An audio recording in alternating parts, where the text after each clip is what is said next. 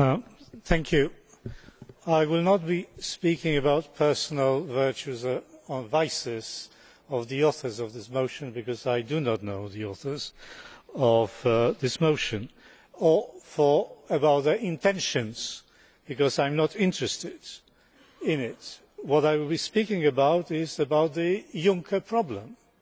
I mean there is such a thing as the Juncker problem and, President Juncker, well let us admit it, you did not make a good start and, uh, moreover, I am not quite satisfied with what you said last time and I am not utterly convinced by what you said today. I think uh, pardon the expression I did not have the feeling that you have some pangs of conscience at all. Uh, it is a rare thing in politicians, but sometimes it is quite possible. But one thing must be clear enough I mean, we really need full information about the special tax agreements and all the possible ramifications, and when I said we need it, we meaning the European peoples, the peoples of Europe against whom these agreements were directed, including my own country, which lost approximately several or more billions of euros as a result of the unethical ingenuity of the leaders of Luxembourg. And that is not a minor issue.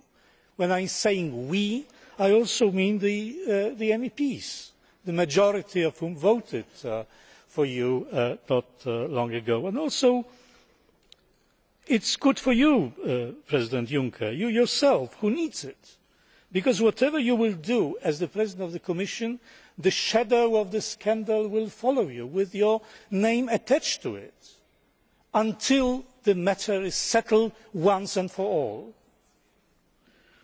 And who should do the investigating and the explaining? Of course the authorities of Luxembourg, primarily independent international bodies and fora such as the OECD.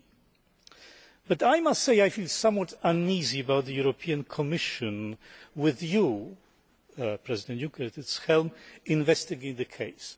I do not know how about you, but I personally feel deeply attached to the old Roman principle nemo iudex in causa sua no one is to be a judge in his own case.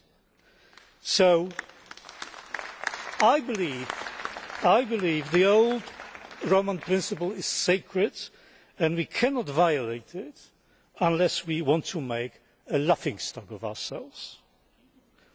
And utterly unacceptable is to seize this opportunity to go ahead with the plan of tax harmonisation.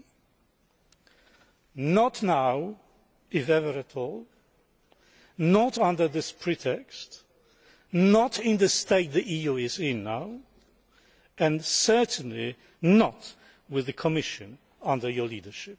Thank you.